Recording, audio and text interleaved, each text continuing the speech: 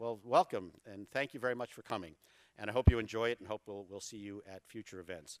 Um, just before I turn the podium over to my colleague, I did want to mention, uh, well, first of all, so for, for you newcomers, um, not familiar with the SETI Institute, the SETI Institute is a nonprofit research organization with research, education, and outreach programs in the space sciences. Specifically, our mission is to explore and understand and explain the nature and origins of life in the universe and the evolution of intelligence. You can learn all about the Institute at our website, which is SETI.org. Easy to remember. We hope you'll visit there and visit there often. Lots of cool content. Uh, and we hope you'll come to these uh, programs. Another big part of our outreach activities is our own radio program called Big Picture Science, the host of which, Seth Shostak, our own senior astronomer and fellow of the Institute, is actually going to preside over tonight's uh, speakers. So I look forward to meeting him. So please get to know the Institute if you don't know us already. Um, we're just down the road in Mountain View. And for you know a nominal fee of an exorbitant amount, we'll actually show you around if you want to come in and visit. So um, uh, in addition to tonight's talk, which is Antarctica as a Time Machine, our portal to snowball Earth and faraway worlds, I want to remind uh, uh all of you that on February 13th, we will have our next SETI talk. That's going to be a fascinating discussion about the next NASA Space Telescope. So if you're interested in things like the James Webb Space Telescope or WFIRST and other planned instruments, come uh, to that talk. I think you'll find it very fascinating.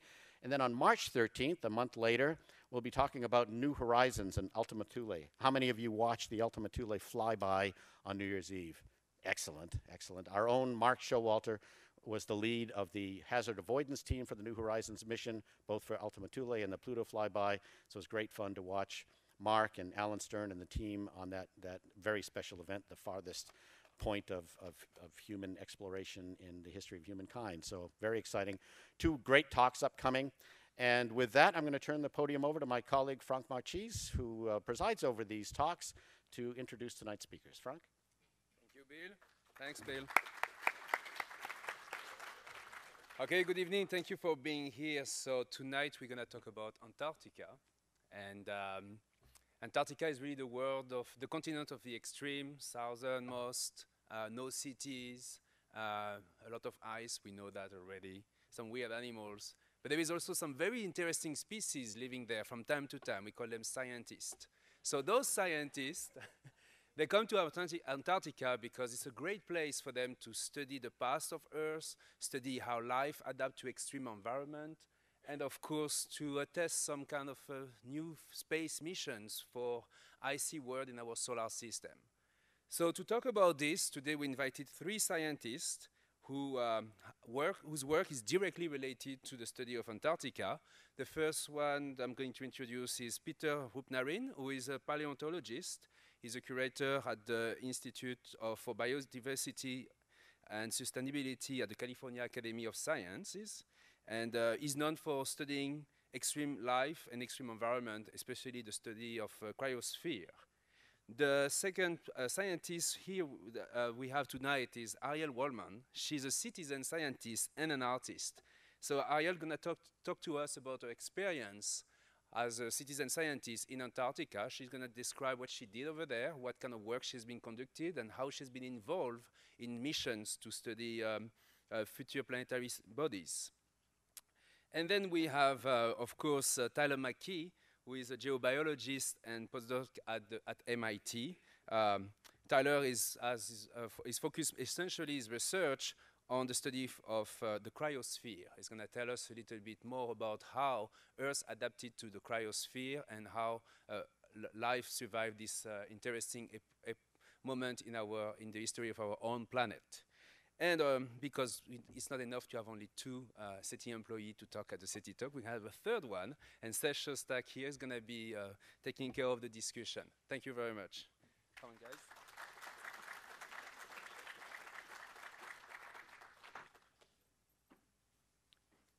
Thank you very much, Frank. Uh, I'm only here to introduce the next six people. But I know you want to get this show on the road, although that's not a good idea given the weather outside.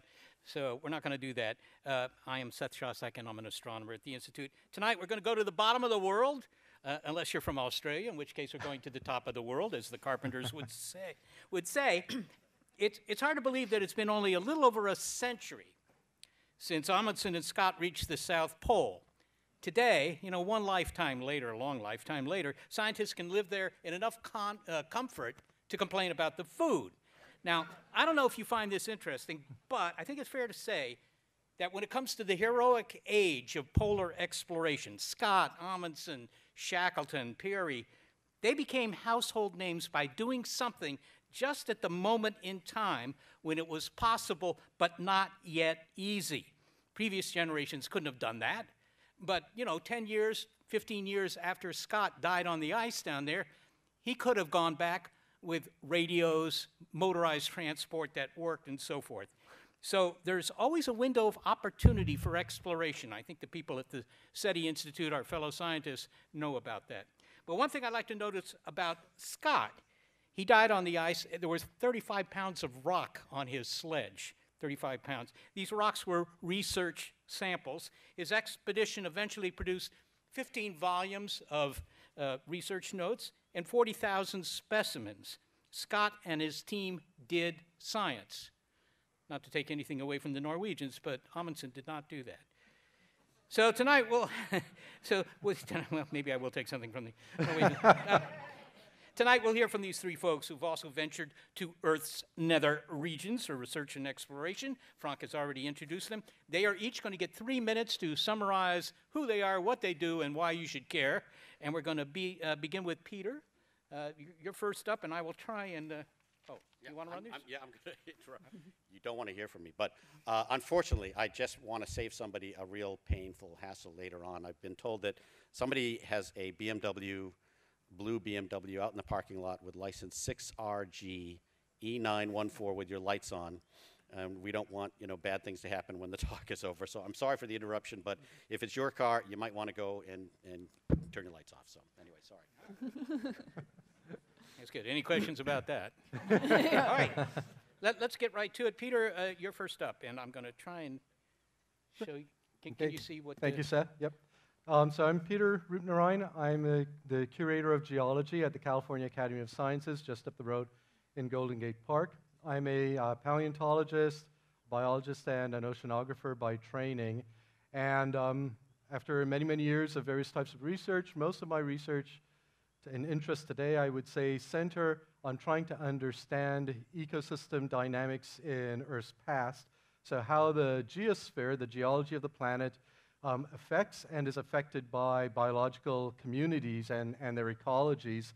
In that sense, um, one of the things I'm most interested in, in, or in our attempts to understand this, one of the best avenues is looking at how ecosystems and communities behave under extremes. And of course, we have extremes present today, and we'll talk about that tonight. In the past, we've had a lot of intermittent extremes. So, one of the figures uh, that's up there shows climate over the past 66 million years. And that climate over the past 66 million years has told us a lot about how uh, the planet evolves and how ecosystems evolve, and we've learned a lot. But over the last 50 years or so of geology, we've come to the realization that there have been many more incredible extremes that we haven't even been able to imagine in Earth's past. And so the other figure shows some of those swings in the past. One of the most notable and most recent, sort of agreed upon realizations is snowball Earth. The fact that the Earth has frozen over in the past almost entirely. This has happened several times. And that these episodes, along with episodes of like extreme heating, have been major, have marked major transitions in the history of life.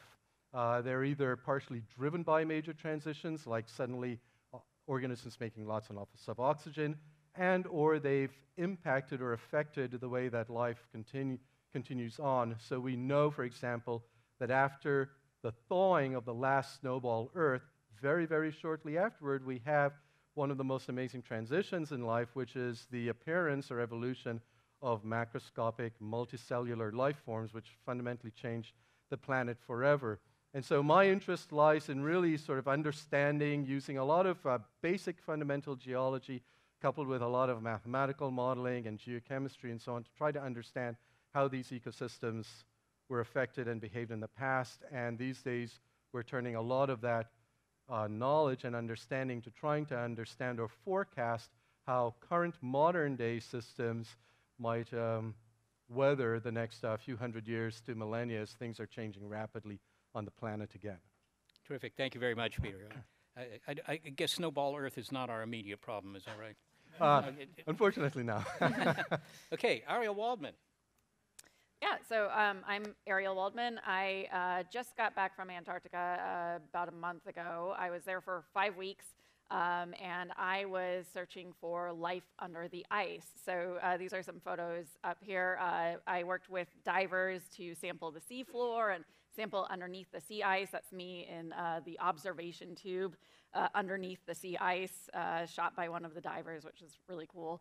Um, I hiked up a glacier where I was able to drill into a glacier and actually get samples of microbes living embedded inside the ice. Um, and then the final photo uh, up there is um, me with an underwater robot that actually goes under the sea ice and uh, is able to explore the edges of glaciers and everything from the underside. Um, so I uh, really went to Antarctica for five weeks to explore all of this and to look and see what I could find, uh, which you can see on the next slide. And let's see if this plays. Maybe click it one more time. Oh, no. Uh, oh, there we go. Yeah, so these are some of the microbes that I discovered underneath the ice. I, so I was actually acting as a microscopist um, in Antarctica. I was going to these locations, sampling things, and immediately putting them under the microscope to see what I could see. So uh, up here is a, a, tardigrade, also known as a water bear, um, an uh, ostracod, a rotifer, and a ciliate. And at some point, the ciliate actually poops right there. Yep. and uh, this is what I really love uh, because, you know, a lot of times when we think about Antarctica, we think it's barren and lifeless, except for maybe some penguins. But the reality is, is that Antarctica has a ton of life, not only underneath the sea ice, but embedded in the glaciers and in subglacial ponds and all these different locations. Um, but we're not really familiar with what this life looks like and, and how it acts. And so I went there really to film this life um, and, and uh, in the coming months share more and more of it and uh, what it looks like so that we can all become familiar with all the life that actually lives there. Um, one of the frustrating bits is that a lot of scientists do go down to Antarctica and uh, sequence the life and can tell you what sort of life forms are down there, but maybe they only take one or two photos and then that goes into a scientific paper and barely anyone ever sees it. So I'm trying to actually get more um, media out there of what these microbes look like can go to the next slide. Um, so this was uh, me at one of the uh, field camps in Antarctica. Um, I was based out of McMurdo Station, but I spent 10 days camping um, out at Lake Bonney and Lake Hoare, which are field sites uh, where you just have a regular tent and it's five degree weather and you just sleep out there and it's, uh, it's cold. Um, this is me indoors with my microscope set up. And uh, the thing that was really fascinating about all of my work was that this was funded, um, or this was supported rather, by a grant through the National Science Foundation Antarctic Artists and Writers Program. So actually, I'm not a scientist uh, formally. I went to art school, um, got my degree in graphic design, and uh, you know, over the last few years, I've had weird occurrences where I've stumbled into advising NASA, and I advise them on um, advanced technologies and concepts. And one of the things that's really important for the future of NASA is to be able to detect life on other planets or moons. And while NASA is very good at telling you if other planets or moons are habitable, they're not yet very good at telling you if they're staring straight at a fish, if there's actually a life form there. Um, and so I think by actually studying all these life forms in Antarctica, we can get a better sense of how we can detect life elsewhere in space and, and the solar system. And so uh, with all of this, this is sort of what motivated me. And I ended up teaching myself microscopy. I also joined the San Francisco Microscopy Society, which is a thing here. If you're interested in it, I totally recommend it. It's very geeky, but a lot of fun. Um, and I actually uh, went to uh, Merritt College over in Oakland uh, and got certified as an optical microscopist. Also, I could go to Antarctica and look at weird, creepy crawlies underneath ice. Okay. What, what, what's the credo of the uh, that association? Is it think small? Pretty much, yeah. okay. Tyler. Hi, I'm Tyler Mackey. I'm a postdoctoral fellow at MIT, and my research is really focused on exploring cold microbial habitats. So um, this is an environment, much like Ariel just said, that looks barren on the surface, but is really teeming with microscopic life if you know where to look. And so on the, the next slide here, one of the places that is uh, beautiful to look is under the surface of those lakes. So here I am diving into Lake Fryxell, which is one of these ice-covered lakes in the dry valleys of Antarctica. And I am getting ready to go down under 10 to 15 feet of ice to look at the microbial communities that are growing there. And in this setting, the microbial communities are really structured by this ice cover. We have an environment that, unlike the surface where the temperatures are extreme, they range dramatically over the course of a year, we're insulated under this ice and have a remarkably stable environment, just marked by six months of daylight, six months of night. And so I'm going through, you can see the layers of bubbles that are marked by annual freezing on the underside of the ice cover. And once you go to the bottom, that remarkably stable environment allows these dramatic microbial communities to form macroscopic structures.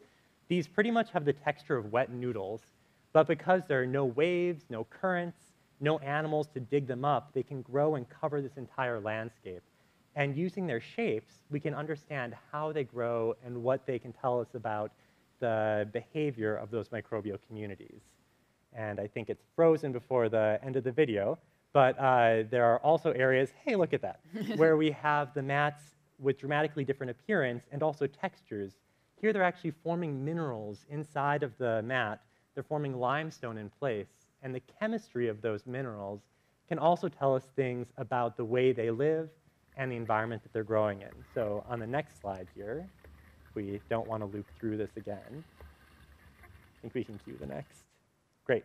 Uh, we can go to the ancient, and here I am looking at uh, some a reef that was made by microbial communities just before uh, the first of those Snowball Earth episodes. And we can say something about the way that they're growing and the chemistry of those rocks that they're forming to look at what the life was doing and what sort of habitat they were growing in.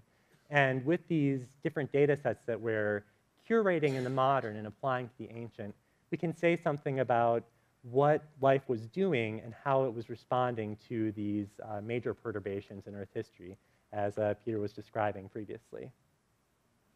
All right, Tyler Mackey, thank you very much. Here's uh, what we're going to do now. We're going to, uh, I'm going to throw a couple of questions at the crew here. They will discuss them in about 10 before the hour. So in like 30 minutes time, we will open up the discussion to you. And you can grill these uh, folks like a waffle on the griddle by coming up to the microphone here in the foreground. Let, let me begin with you, Tyler, because uh, what's the most interesting stuff? You, well, no, let me ask you a different question. How do these living things down there at the bottom of these lakes, first off, where are the lakes, right? And second, because they're not near the South Pole, I presume, uh, but how do they make a living? I mean, you know, there's not a whole lot of photo photosynthesis. Well, so these lakes are found in coastal areas primarily where you have uh, polar desert oases. And these are areas where the glaciers are blocked by mountains and keep the bulk of the ice out. And you have local glacier melt that feeds these lakes. And depending on the local conditions, the ice cover can range from five feet to 40 feet thick, sometimes freezing the entire water body. So the ice cover itself actually does let enough light through that photosynthesis really anchors this ecosystem. These uh, microbial mats can get by based on just 0.1% of the ambient light that's hitting the top of the ice cover. And uh, they are very shade adapted and um, are uh, certainly making it through half a year with no light at that. So Indoor they, plants. They are exactly, yes. Okay. Are, are there any animals living down there? Uh, there are a few uh, sub-millimeter crustaceans, uh, copepods that are present in these lakes, um, in one of the lakes in particular, but uh, by and large, nematodes, other microscopic organisms are really uh, the, the lions of this ecosystem. One, one, more, one more question for you. You know, 35 million years ago, uh, Antarctica was a kinder, gentler place, mm.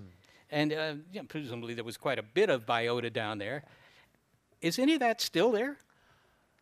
Well, that's, that's interesting, and I think it gets into a lot of questions about how microbes propagate across the planet are the microbes that are currently in these polar environments uh, related to the organisms from the North Pole or regions or from alpine areas. This is an area of really active research. Uh, the, the trajectory of these ecosystems is, is very sensitive to the starting conditions. And most of the lakes that I'm looking at there dried out almost completely about a thousand years ago. So they've been seeded since then with new communities and uh, are reflecting the local history. But uh, it's, it's definitely a, a story of exclusion by the changes of the climate over the last millions of years. But if there are any natives, they would be microscopic, not, not the things we saw there. exactly. I see. Okay. Uh, Ariel, you had the very rare privilege of securing an invite to go to Antarctica. I think there are a lot of people in the audience. How many of you would want to go to Antarctica? How many of you have been to Antarctica? Somewhat couple, fewer, a but a few. few. It's not zero. Okay. Uh, in any case, but you're a, you know, you weren't going as part of a research team, but you're a very media savvy person, perceptive citizen. Uh, were you exclusively at the South Pole? Uh, so I was based out of McMurdo, um, and uh, while I wasn't part of a research team, I was my own research team. So I was a, a PI um, on my own exploratory grant, which was a really amazing experience uh, to be able to do that. But, um, but yeah, I was at McMurdo uh, for five weeks, but then I spent 10 days in the dry valleys camping there. Okay, so you were around the edges, as it were. Yep. Uh, and and presumably you sent back tweets. I mean, did they have the capability, the technical capability for you to communicate kind of? Because I know you like to do that. Yeah. right? I mean, you, you learned that from the political system. Uh, Do you, do you, do you like to do real-time uh, observations down there? Yeah, I mean, I was able to get some stuff out. So the internet down there obviously is not very good. There's not many polar orbiting satellites, and because of that, the bandwidth is very constrained. But going to Antarctica, at least going to the uh, U.S. Uh, McMurdo station, is kind of like going back to the 90s. Uh, everyone has pagers. Everyone uses pagers. Uh, and because no one is allowed to use their mobile phones, you're not allowed to put your mobile phone onto the internet.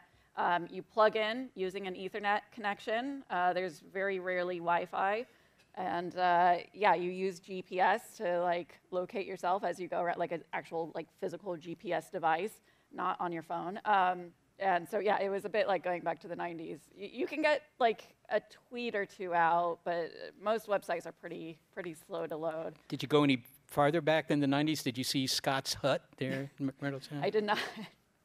did not see Scott's Hut. Hey, you know, uh, this is a kind of a dumb question, but that's the kind I ask.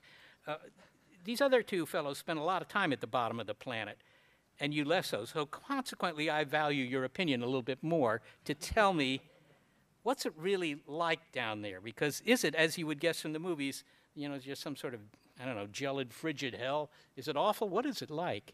Uh, so I was there at the beginning of summer, so I kind of got to see some of the transition from the less nice weather to the nicer weather, and it's all dedicated. It's all dictated by wind. Like if if it's freezing cold but there's no wind, it's like an awesome day. Uh, but like just a barely a hint of wind, and you're like, oh, this is miserable. I'm out. Like.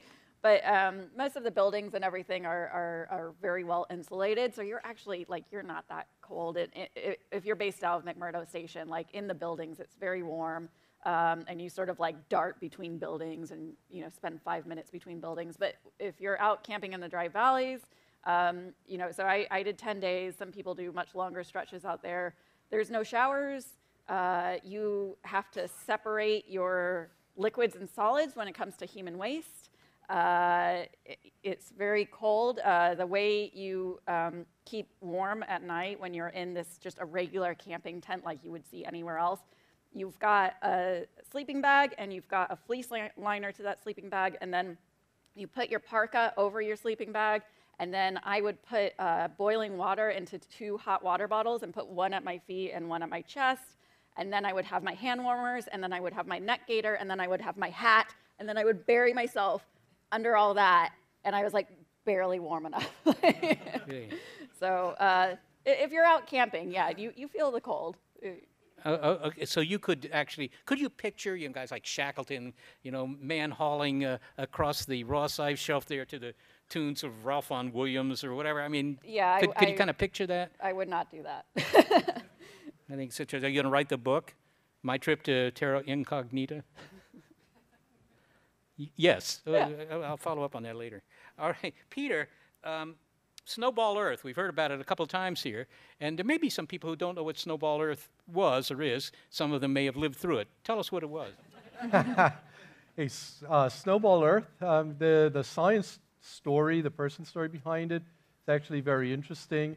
Our first Snowball Earth refers to any time in the past when, or I guess in the, in the future, when the Earth has, is frozen almost completely over. So it's covered with ice from pole to pole. Um, we know now that it's probably never been completely covered. There are small areas of open ocean that actually turn out to be very important. But the whole idea of snowball Earth started maybe 80 years ago or more when geologists first noticed uh, telltale signs of glacial activity. So lots of uh, we call drop stones or drop boulders, which are uh, large chunks of geological material that are transported to areas and dropped, and that can only happen by being uh, trapped and carried in glaciers and then dropped. Glaciers retreat. But these things were occurring in areas, uh, tropical areas, for example, that one, um, were never known to have glaciated, and two, were very puzzling because they're in the tropics. And this, uh, these observations were first made before the concept or theory of plate tectonics. So it wasn't widely accepted then that continents move about.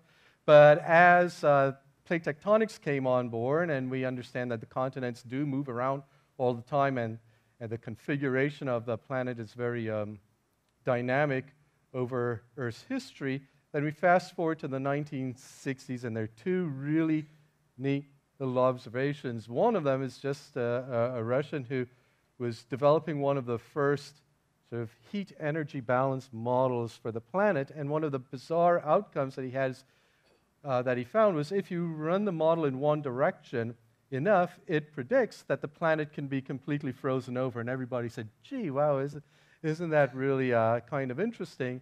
And then the other um, observation was really firming up the uh, the discovery of these unusual anomalous geological deposits that were very, very old. They don't correspond to any of the glaciations we know, certainly not the last uh, two and a half million years, for example, but they're very old, and the estimates was that they could be a billion years old, older or more. And then finally, in the 1980s, the idea was put together that uh, the only explanation can be that uh, this model is correct, and under some circumstances, a planet can become frozen over. And so we know now that sometime between, say, 800 to 600 million years ago or so, there were at least maybe three times when glaciers would advance from the poles, the planet would become almost completely frozen. Uh, that ice would retreat and then re expand very quickly. And sometime, a little more than 600 million years ago, uh, the, the planet thawed out. And we've had episodes ever since where we fluctuate between what we call like a um, a hothouse planet where the planet's pretty warm, there's no ice at the poles, to an icehouse planet where we have uh, ice at the poles that started, you know, as you mentioned earlier, 35 million years ago. Okay, so if we could go, we, you get one of those time machines that they've shown in the films and, and go back 600 million years. Uh, point one, is it guaranteed that there really was a snowball Earth? I mean, is that, that a slam dunk? Do we know that for sure now? Well, I would say yes. okay. I mean, your, your, point of view is clear. But what would it have looked like? I mean, what, yeah. were, were, the oceans frozen? The oceans that, are kind of salty. Oceans were almost completely frozen. The continents were completely covered in ice. There were bands around the tropics of open ocean, and these turn out to be very important. And uh, complete freezing is probably not possible because the Earth generates its own internal heat, of course, and so the oceans are not frozen solid to the bottom there are open areas where we have uh, geothermal, hydrothermal activity. And we also have what's really very important for coming out of Snowball Earth, we have active volcanism. And what that volcanism is doing is not only it's, melting ice in local areas, but massive episodes of volcanism over long periods of time are building up carbon dioxide, that greenhouse gas in the atmosphere. And because biological activity is very low, because the planet's covered with, with ice, right, then that uh, carbon dioxide can accumulate in the atmosphere and will tilt that little mathematical model eventually. It's, it's a tipping point. We'll send that tipping point in the other direction. You have these areas of open ocean uh, that have low albedo, so they're absorbing a lot of, uh, a lot of the sun's energy. You melt a bit of, of the ice, they absorb more of that energy, and you get a runaway process going the other way. We don't know what triggered, really, or we're not in broad agreement onto what might have triggered the snowball Earth in the first place, but we know that from what we understand of the Earth's, uh, of the Earth system, it's definitely possible, and there's a tremendous amount of evidence to So, support so, it. so you had two kind of things happening. You have positive feedback. There are a lot of double E types in the audience, I suspect. Yep. Right? You had positive feedback at first, when you cover it with enough snow, then it reflects more sunlight, just gets colder, you get more snow. I mean, sounds to me like that could be a runaway problem, but okay. But then you get a little bit of heating because some volcano, uh, volcanic system goes off, and now you get uh, positive feedback the other and way. Is, yeah. it- is it's, that it? it's a classic, it's a classic tipping point system. Yeah. Okay, Yeah. and, uh, and, and this is really for Tyler because you said that the most recent one, I mean, you said there might have been three of these, right? Three episodes. The most recent one was 600 million years ago, and I'm old enough to know that that was an interesting time. The papers were full of stories about, I mean, you know, 600 million years ago, there wasn't anything on the, on the land. You didn't kill a lot of plants or anything like that. But that's when, you know, the uh, Cambrian explosion, which ruined life in southern England for all those living there, the Cambrian explosion happened. Um, is that coincidence that those two numbers being the same? Well, I feel like that's a good question for, for Peter, but I think that uh, one of the questions is if these glacial periods were bottlenecks or if they were actually stimulating evolution. So the habitats that were present during these glaciations, those little areas where enough light could come through or there was local warming, maybe it was the first time that we had cold water habitats that could be potential uh, oases for life. But there, there might be there might be a relationship there, and we need to sort out what the causality is. If it's something that uh, the survivors just barely made it through, and then they were the ones who could go ahead and uh, expand and become more complex in these ecosystems, or could this actually have stimulated their emergence? I guess, I guess the question really is was it essential to have a snowball Earth in order to have anything in the audience bigger than a microbe? That is, I think, a fundamental question because the ecological expansion of algae, which might not sound like much to us, but in terms of the history of life, is a dramatic event going from bacteria doing all the primary production to having eukaryotes doing the primary product, uh, productivity. Uh, that is associated tenuously with these snowball Earth episodes. And it might be that there was some sort of tipping point biologically associated with these tipping points in the climate. Well, wasn't wasn't one of the things like the Great Oxygenation Event like is connected to Snowball Earth? So so potentially the thing that yeah is giving us life is actually the thing that could have set off one of the Snowball Earth periods. Well, the great oxygenation event for people who, you know, gave away their textbooks at the end of high school. Uh, but I thought that was roughly two billion years ago, right? When suddenly the amount of oxygen in the atmosphere, you know, got close to what it is now, what 21% or whatever. Uh, but was there was there a, uh, Peter? Was there a snowball Earth event two billion years ago? I mean, So there, there are right? suggestions, and there is evidence that maybe the first snowball Earth event was associated with the Great Oxygenation, something we call the Huronian snowball Earth, but the evidence is more tenuous there. But the Great Oxygenation event would certainly have set the stage for the later um, snowball Earth events because this is it's part of the process of this. Again, it's a biological feedback or ecological feedback that's taking place now, where you have these larger, more uh, complex primary producers. The energy base of the ecosystems has has really ramped up, and everything is moving a bit faster. It's still a microbial world, but the microbes are more sophisticated. The microbes are more energetic, and uh, levels of oxygen in the earth are slowly using up. Um, we have things like no more free iron on, on the surface of, of the planet, for example. If any of you ever seen iron stones? Iron stones disappear when oxygen comes along and, and poisons the planet. Um, so the planet is changing, but it, it is puzzling why we do have this, this long gap. And, well, that gap is just puzzling for many reasons. Yeah. Yeah, of course we do have free iron on the surface. Just look at 101, right? yeah. okay, uh, what, Peter, you know, Ariel has described how she uh, accustomed herself, acclimatized herself, I don't know if that would be the right verb here, to th- these kind of frigid conditions down there. Could she look forward to another snowball Earth? Is this going to happen? Yeah, yeah.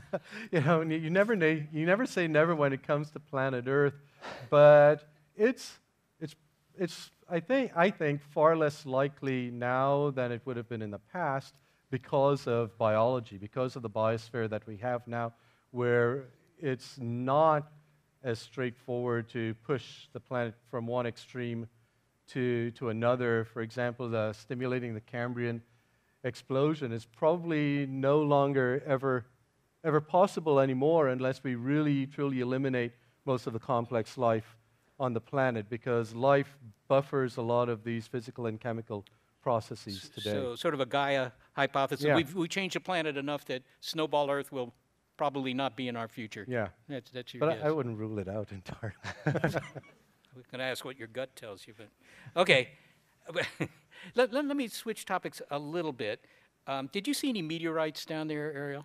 Uh, I did not. I, I heard about the folks who go meteorite hunting because it was something that uh, I had sort of been interested in over the last few years. But I heard it's pretty like they're really like out there for like several weeks at a time and like snowmobiling around, creating like camps along the way to find meteorites. It sounded like uh, you have to be pretty hardcore to actually go meteorite hunting in Well, Antarctica. I, I, you know, the biggest science news story of 1996 was ALH 84001. Now, it is this little rock about the size of a baked potato but less tasty uh, that was picked up in Antarctica at the Allan Hills. Where, you guys must know where the Allan Hills are. Yeah, it's uh, right away from McMurdo. It's uh, one of the prime spots to go drive grids with a snowmobile and look for little okay, black rocks. so it's that close. well, you, I think it's.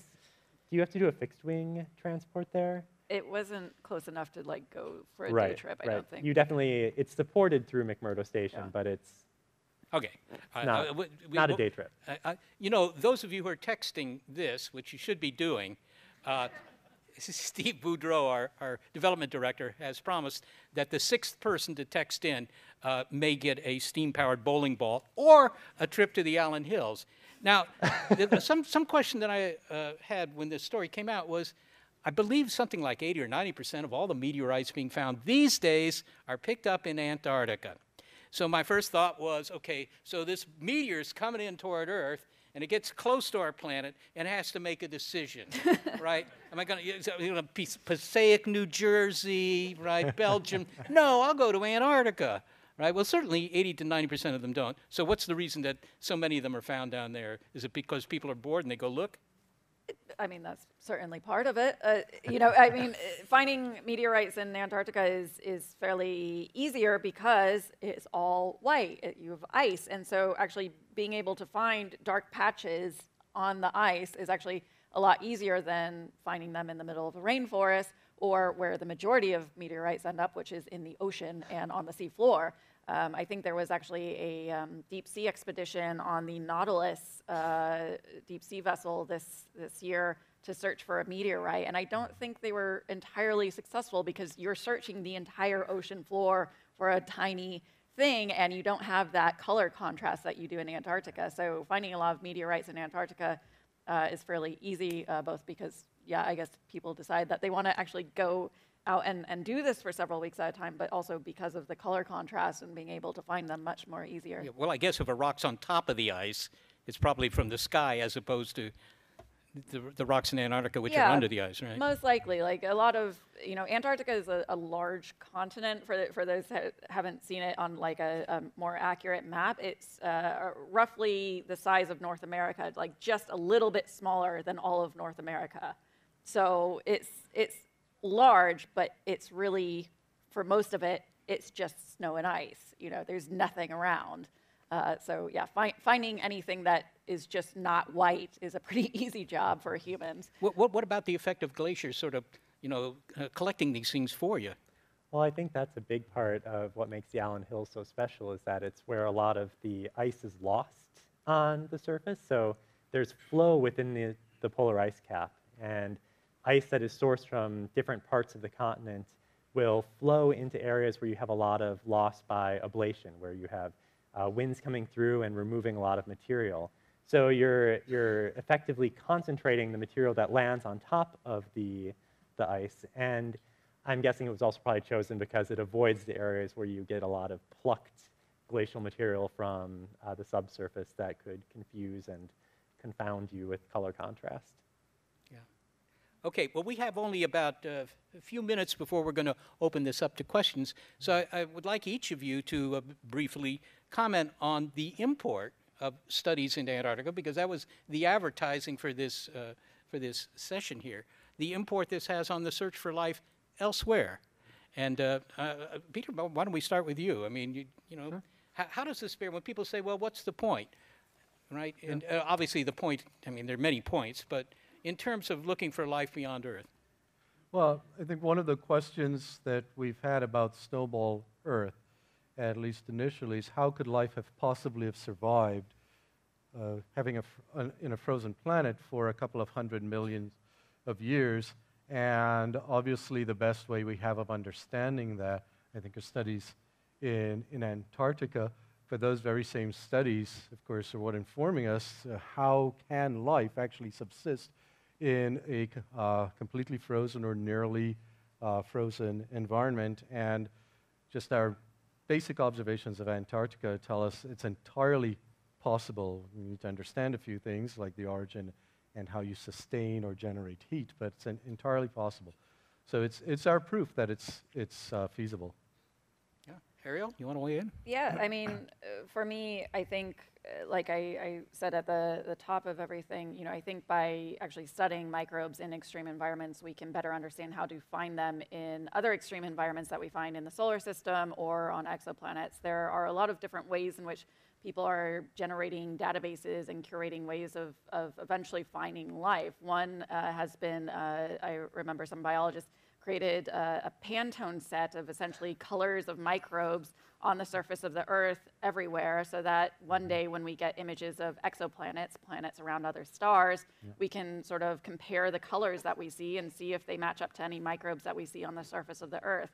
Other ways are, I think, uh, using microscopy like I am, uh, and, and using digital holographic microscopy, which is uh, just another form of microscopy, but to actually embed microscopes when we go explore other planets or other moons and being able to detect life that way. Um, I think, in my personal experience, it's incredibly exciting not only to better understand how these life forms move and, and interact and, and how they can be embedded in places that we otherwise wouldn't associate with life, um, but even for finding life on Earth in places that we don't yet know life can exist. Uh, so, one example is when I was out in the field, there is a um, pond called the Don Juan Pond in Antarctica. It's the saltiest body of uh, water on Earth.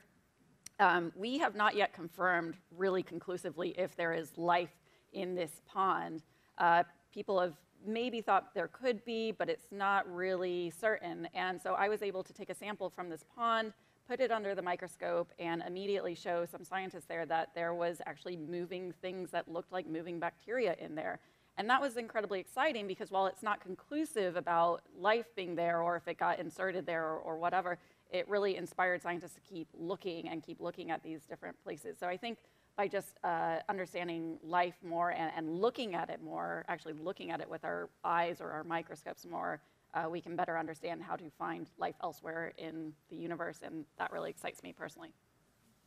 Tyler, uh, you know, do you ever tell people, show them that video of you, you know, swimming down there and say, that's what the aliens will look like, right? Maybe a lot of them do look like that. Yeah, well, I think that microbial life is a really good place to start looking for what uh, key characteristics might be uh, relevant for the search for life. And I think it's less charismatic than things that are currently swimming around, but dead life can also be very informative. And looking at areas in Antarctica where we have the accumulated sediments of these lakes, of areas where we know that there's microbial communities growing, can really help us when we go to places like Mars and look in the paleolake deposits of these craters, where we may have had ice covers in similar environments to what's currently in Antarctica, with these ephemeral water bodies.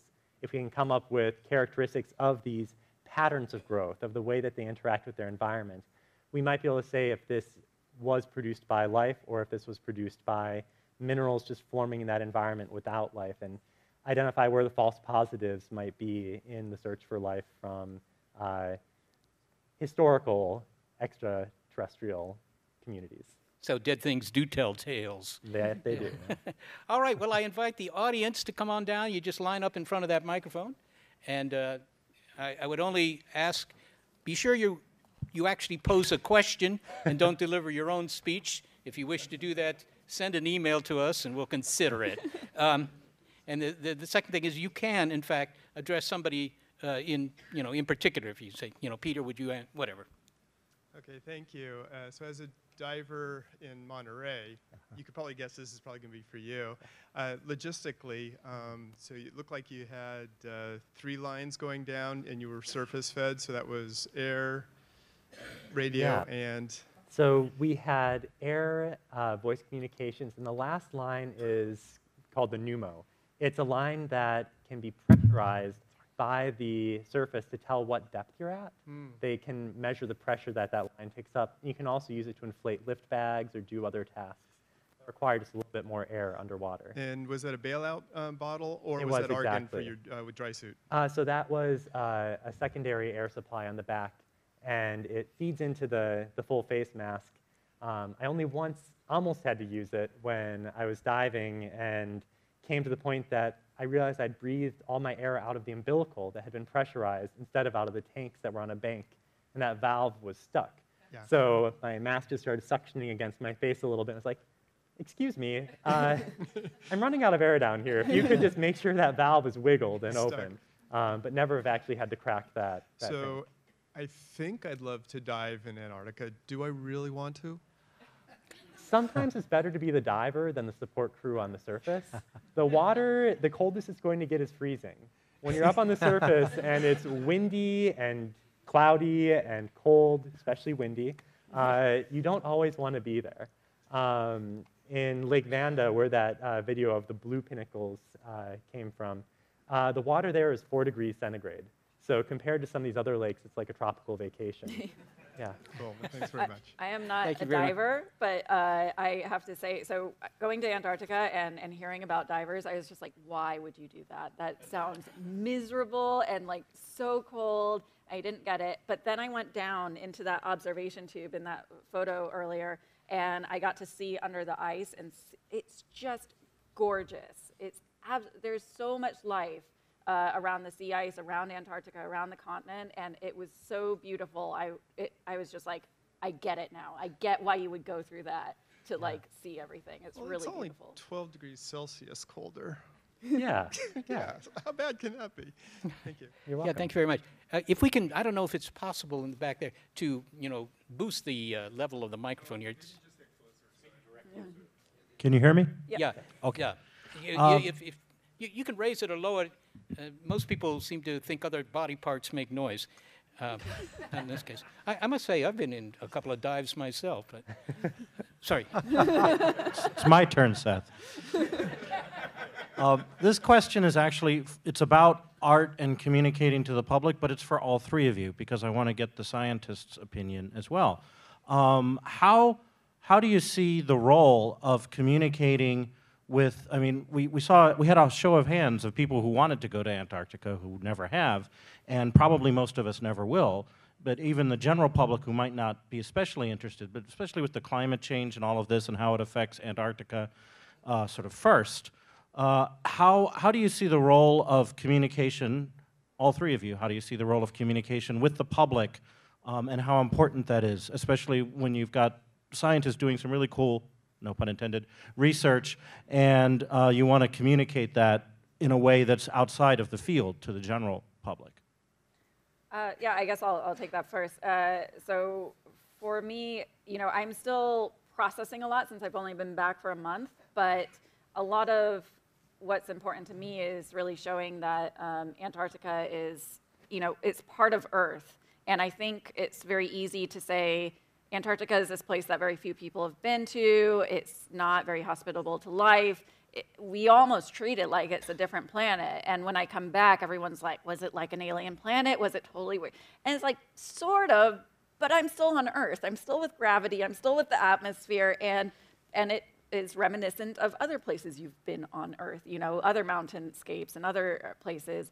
And so I think one of the things that's really important about communication when it comes to Antarctica is, is yes, you can do all this like out there research of like space exploration, but it's also bringing home that this is part of our home, and there are interesting parts of that home that are very connected to everyday life here. So some of the microbes that I was showing, you can find tardigrades everywhere on Earth. You can find them in your backyard. You can find them in sidewalks. You know, and so I think for me, some of the thing is is actually about actually better normalizing Antarctica and making it less foreign and less exotic, um, so that we better understand that we're kind of a cohesive ecosystem. Um, I, I think that part is important, and certainly I think getting this communication out there not only affects you know how people generally think about things, but it can also affect the future of, of science because um, I'm trying to get the word out that there's a ton of microbial life in Antarctica. Well, that's only a recent discovery generally for a lot of the places that I went to. There, there's places like Lake Bonney where people thought it was completely dead for a while, and then we slowly discovered that there's bacteria in there, and um, that affected the course of science and, and how we thought about things. So for me, it, it's both about affecting people inside of science and outside, um, but kind of making it less exotic, I guess. Peter, did you want to weigh in? Okay, sure. Um, well, one of the things that I spend a lot of time working on is uh, sort of global biological change, and both in the past and in it's a pretty interesting time to be alive and be a scientist right now because we're running a massive experiment on the planet.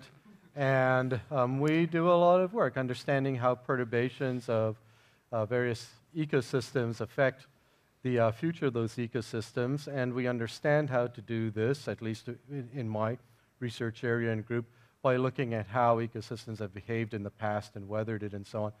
And some of the work that we've done in, has involved Arctic uh, marine ecosystems. We're beginning to look at Antarctic marine ecosystems that are spectacular, but one of the reasons why we're so very interested in them is that uh, the, these are ecosystems that have been isolated for several tens of millions of years as Antarctica has become icebound. They've developed their own unique ecologies, and they're very instructive, and they're changing very rapidly because the barriers of isolation are breaking down quite rapidly as the oceans around Antarctica warm. And one of the things that we're beginning to see are larger, more complicated, more sophisticated, if you will, uh, types of ecologies move into Antarctica. And what we do know from our work, and Tyler touched on this earlier, any biological community or ecological community is what you have is a product that's very sensitive to the starting conditions, the initial conditions. These are sort of path dependent histories, and there's no easy irreversib- or reversibility going back and forth. And once you alter those uh, histories and trajectories, future trajectories, once you change them, you've set it on, on a new path. And that's ex- essentially what's happening today. And these are systems that we're just barely beginning to understand. In the Arctic, it's completely, fully underway. The Arctic is being flooded right now by organisms from the North Pacific. And within, within my lifetime, I remember the 90s and the technology very well. Uh, you know, within my lifetime, I'll see the, the North Atlantic begin to respond to those changes from the North Pacific. We're going to see the same thing in, in Antarctica. And it's a lot of the uh, communication that I do to the public really centers on trying to understand our, our almost desperate need to understand and appreciate the systems that we have today because they are changing very rapidly. And there are things to be appreciated for their uh, intrinsic value, but also we're, we're heavily dependent on these systems. Just, just a question for the audience. How many of you ever read uh, Apsley Cherry Garrard's The Worst Journey in the World? Two. Okay. All right. I commend that book to you. Yeah. It'll, it'll, make you want to go to Antarctica, despite the hardships. We have quite a long line here. Thank so you.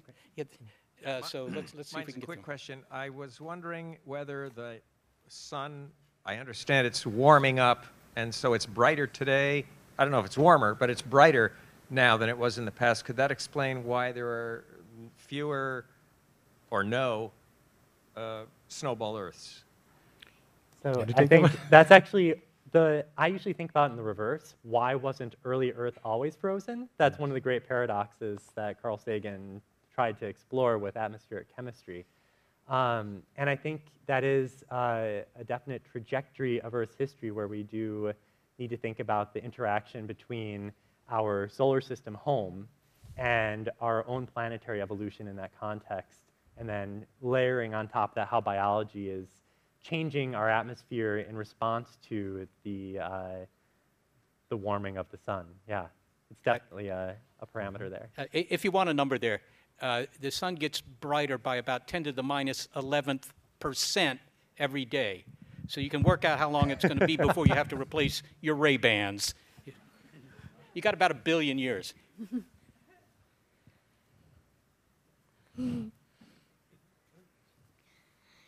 If there was one piece of advice you would give to someone going to Antarctica, what would it be?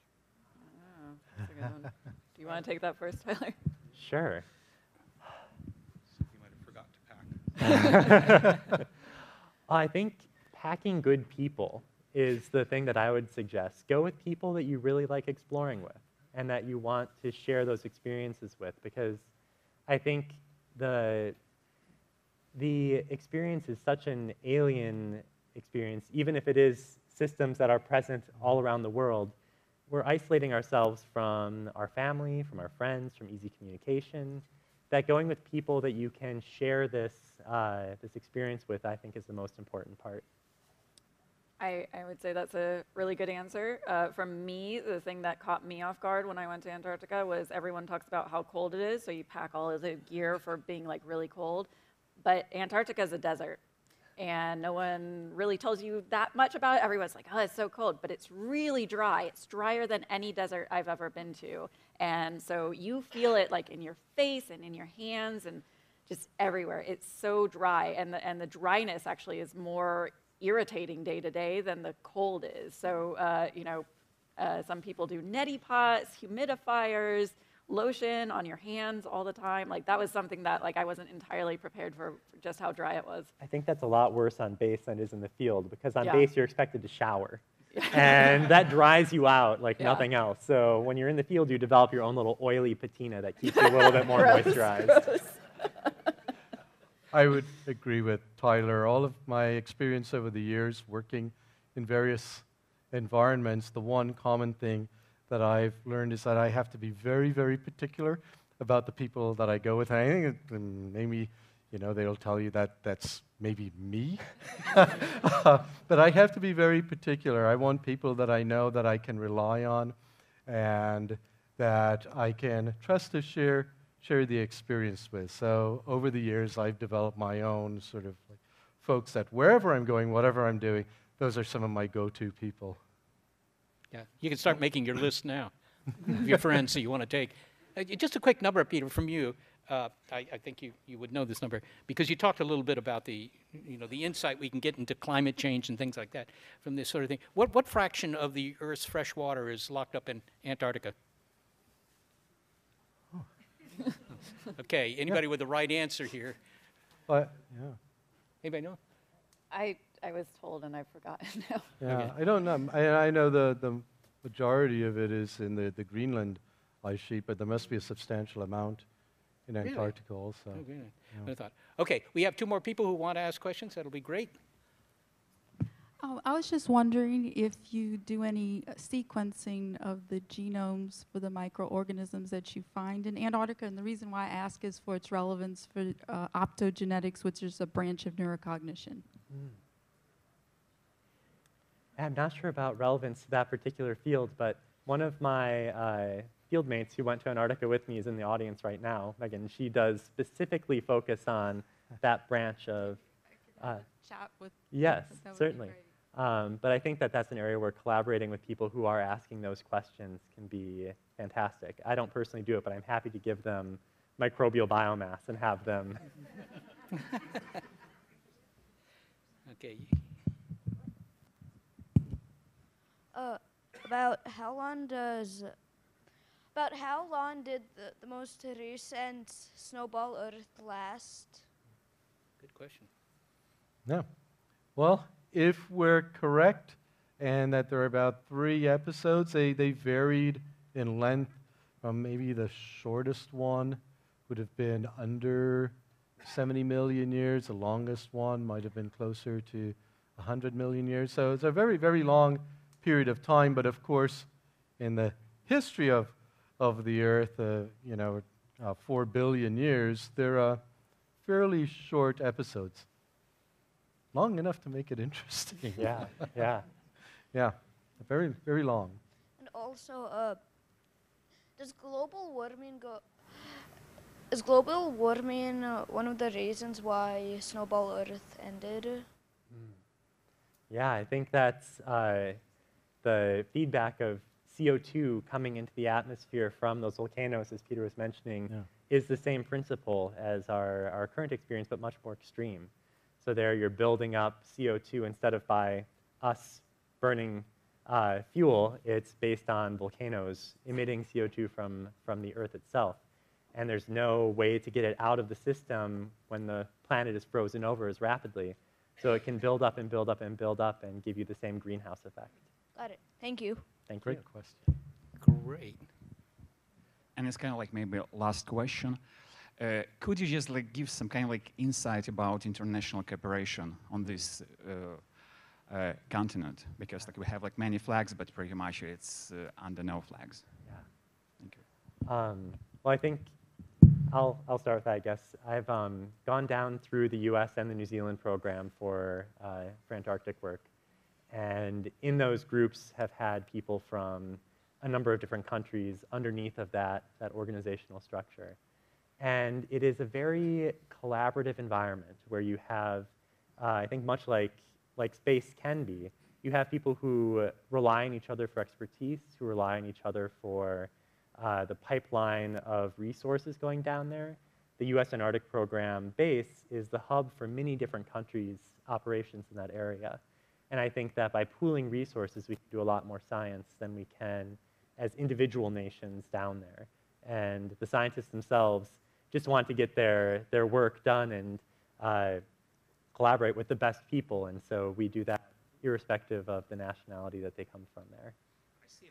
I'm just uh, kind of like thought about uh, the like the follow-up question. Are you well funded?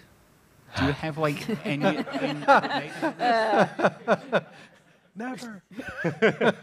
oh, I think it's, it's very competitive to get funding to go to Antarctica at the start.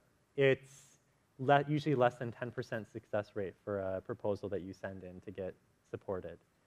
Uh, once you are supported, you have crafted your budget, and they only accept uh, projects that they know they'll be able to support with the current budgets of the different agencies, be it NASA or the National Science Foundation. So once you are accepted and you've gotten your budget approved, you're very well funded for what you asked for. If you need more than that, then there are a lot of negotiations that have to take place. But uh, generally, if they think your science is worth doing with their budget priorities and their, uh, their directive, they will do their best to make it happen.